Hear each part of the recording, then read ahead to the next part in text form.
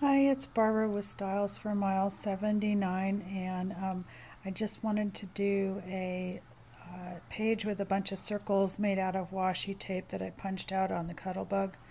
Um, and uh, I saw something like this from uh, Sandra Osnap, Ohsnapgonzo, and she did one for a bicycle page, which I thought was really cool.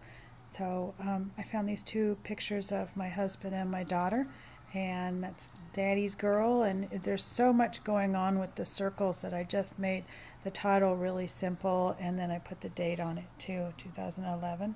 I should say also 2011.